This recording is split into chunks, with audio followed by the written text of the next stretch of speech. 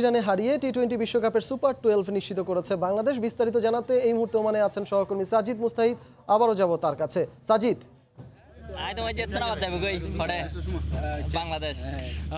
Richard বাংলাদেশের প্রথম match হেরে যাওয়ার পর আসলে ভক্তদের মন খারাপ হয়েছিল।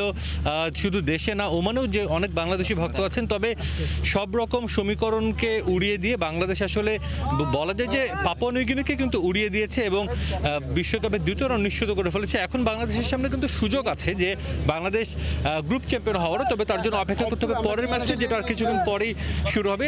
ওমানে কিন্তু আমরা জানি যে বিপুল পরিমাণ বাংলাদেশের দর্শক আছে এবং আজ মাঠে যত দর্শক ছিল, মাঠের বাইরেও প্রচুর দর্শক ছিল। আমরা দেখতে পাচ্ছি আমার এখানে অনেক দর্শক আছে। আসলে সবারই কিন্তু প্রত্যাশা ছিল যে বাংলাদেশ জিতবে এবং বাংলাদেশ আসলে ভালো ভালো কিছু করে দ্বিতীয় রাউন্ডে যাবে। এবং সবাই কিন্তু বাংলাদেশের ক্রিকেটাররা যেহেতু প্রত্যাশা নিয়ে আসছে যে বাংলাদেশ সেমিফাইনাল খেলবে, বাংলাদেশ সেমিফাইনাল খেলবে। সেই স্বপ্নটা কিন্তু আসলে সমর্থকদেরও যে সমর্থকরাও চায় যে বাংলাদেশ সেমিফাইনাল খেলুক। এবং বাংলাদেশ কিন্তু আসলে এখন দ্বিতীয় রাউন্ডে মোটামুটি নিশ্চিত যেহেতু হয়ে গেছে, বাংলাদেশের কিন্তু সবাই চাওয়া যে বাংলাদেশ দ্বিতীয় রাউন্ডে যে গ্রুপেই পড়ুক, সেটা গ্রুপ ওয়ান হোক বা গ্রুপ টু হোক, যেটা আসলে পরের ম্যাচের পরে আমরা নিশ্চিত হবে সেটা আসলে চাই যে ভালো ক্রিকেট খেলুক। এবং আজকে যেহেতু সাকিব টানা দুই ম্যাচে ম্যান অফ দ্য ম্যাচ এবং সেটাই কিন্তু ভক্তদের উচ্ছ্বাস আমরা এখানে দেখছি। সবাই অনেক সবাই অনেক উচ্ছ্বসিত সবাই অনেক উচ্ছ্বসিত।